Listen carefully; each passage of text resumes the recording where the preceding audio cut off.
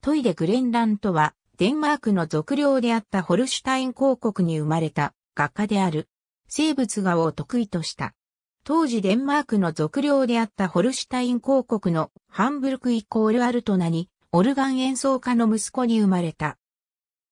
1837年から1839年の間、コッペンハーゲンのデンマーク王立美術院で学んだ後、しばらく肖像画家として働き、1840年にアントウェルペンに移り、1842年にパリに移り、その後1846年までイタリアで活動し、花や果物を描く生物画が自分に向いていることを見出した。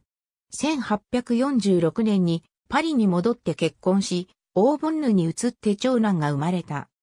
1848年にサロンドパリに出展した作品が一等になり、1855年のパリ、バンコク博覧会の展覧会にも出展し入賞した。1858年にコペンハーゲンのアカデミーの外国会員に選ばれた。何度もロンドンを訪れ、水晶宮の展覧会に出展し、ビクトリア女王からも絵の注文を受けた。1859年から1868年の間は、多くの芸術家の滞在するバルビゾン村に滞在し、1859年には次男もバルビゾンで生まれたが、フランスとドイツの関係が悪くなってきた1869年にベルリンに移った。ベルリンでは実業家、貴族のフランツ・フーベルト・フォンティーレ・ビンクラーの屋敷の装飾もした。1876年にベルリンで没した。